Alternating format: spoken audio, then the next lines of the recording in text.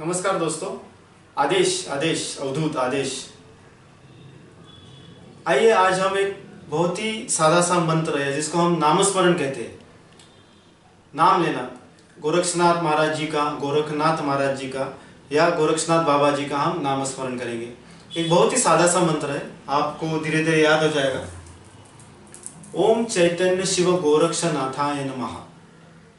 ओम चैतन्य शिव गोरक्षनाथाय नमः। ओम चैतन्य शिव गोरक्षनाथाय नमः।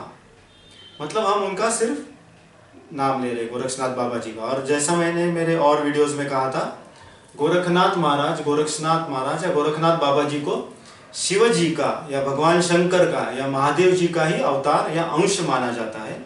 इसलिए शिव गोरक्ष। तो आइए मेरे पीछे पीछे आप भी मंत्र बोलिए धीरे धीरे आपकी आग भी बंद की तो चलेगा। थोड़ा सा यहाँ पर ध्यान फोकस किया तो भी चलेगा।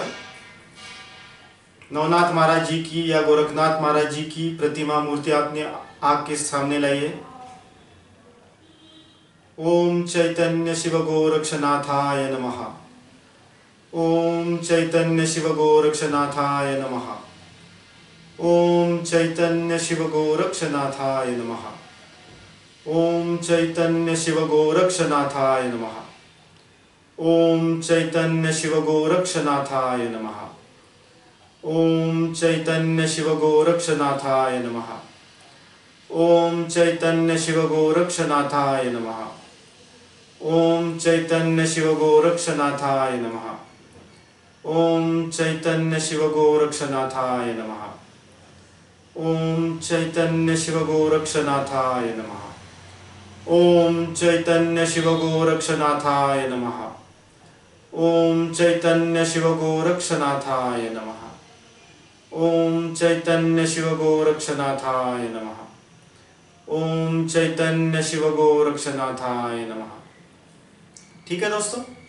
मंत्र याद रहेगा? बहुत पावर है इस मंत्र में। आप सच्चे दिल से करके देखिए। करके तो देखिए क्या अनुभव आते नहीं, सुबह पाँच बजे आपके कान में आके गोरखनाथ महाराज जी ने खुद ये मंत्र बोल, बोला तो देखिए, बहुत से अनुभव आपका आएँगे, ठीक है? रुकता हूँ मैं। आदेश अलख निरंजन, अवधूत आदेश गोरखनाथ बाबा जी की जय।